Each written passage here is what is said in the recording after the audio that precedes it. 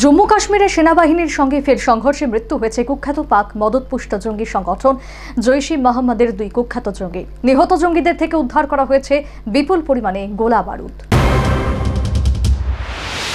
কাশ্মীরে তিনশো সত্তর ধারা রদ হওয়ার পর থেকেই সেখানে সন্ত্রাস ছড়ানোয় মরিয়া চেষ্টা করছে পাকিস্তান।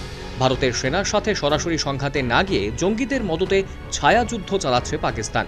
এই পরিস্থিতিতে ভারতও সন্ত্রাস দমনে সেনা অভিযান তীব্র করেছে। বুধবার দক্ষিণ কাশ্মীরে পুলওয়ামা জেলায় সেনাবাহিনীর সঙ্গে সন্ত্রাসবাদীদের সংঘর্ষ বাধে কাশবায়ার এলাকায়। জৈশ জঙ্গিদের লুকিয়ে থাকার খবর পায় সেনাবাহিনী। সেই মতো ওই দিন জঙ্গিদের গোপন ডেরা ঘিরে ফেলে সেনাবাহিনী। জওয়ানদের উপস্থিতি জানতে পেরে গুলি চালাতে শুরু করে জেহাদিরা। বেশ কিছুক্ষণ লড়াইয়ের পর মৃত্যু হয় দুই জঙ্গির। উল্লেখ্য, কয়েকদিন আগেই শ্রীনগরের রামবাগে নিরাপত্তা রক্ষীদের সঙ্গে সংঘর্ষে তিন সন্ত্রাসবাদীর মৃত্যু হয়। কাশ্মীরি পণ্ডিতদের হত্যার নেপথ্যে ছিল ওই জঙ্গিরা। তাছাড়া এর কয়েকদিন আগেই পুলওয়ামায় সেনার সঙ্গে এনকাউন্টারে নিহত হয় জৈশি মোহাম্মদ কুখ্যাত জঙ্গি মোহাম্মদ ইসমাইল আলভি। গত জুন মাসে কাশ্মীরে লস্করের কমান্ডার নাদিম আরবার সহ দুই জঙ্গিকে নিকেশ করে সেনাবাহিনী। কাশ্মীর উপত্যকায় নিরাপত্তা বাহিনীর উপর হামলা ও হত্যার একাধিক ঘটনায় জড়িত ছিল এই কুখ্যাত জঙ্গি।